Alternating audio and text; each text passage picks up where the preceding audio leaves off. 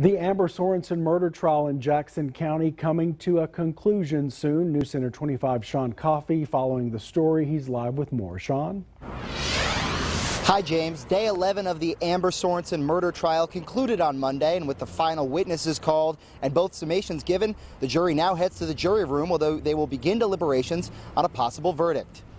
Now, in their closing statement Monday, the Jackson County District Attorney's Office attempted to keep things straight and simple boiling down nine days of testimony to two questions. Did Amber Sorensen kill Jared Parker? And if so, was that okay? The DA pointed out holes in the defendant's self-defense story, citing testimony that forensic analysis of the bullet trajectory and blood spatter, in addition to Sorensen's lack of identifiable bruising or bodily injury, both contradict her version of events. Sorensen had claimed Parker was an immediate threat to her and that they were striking each other before she managed to wrestle a gun she says Parker drew out of his hand. The prosecutor, however, quick to point out the victim outweighed Sorensen by 70 pounds and was former Air Force with training in martial arts. The defense, meanwhile, painting a picture of a protracted abusive relationship that had approached a tipping point of sorts.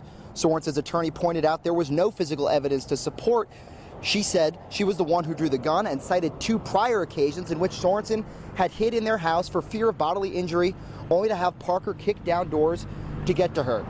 Now, while the prosecutor's office did acknowledge there was a history of domestic violence between these two, the case really rests on Sorensen's conflicting accounts that she provided with police, as the DA says she gave five different accounts, which the details vary. If she was being honest, they allege that wouldn't be the case. But until now, it's just a waiting game here at the Jackson County Courthouse as the jury begins deliberations. In Edna, I'm Sean Coffey for your Hometown News.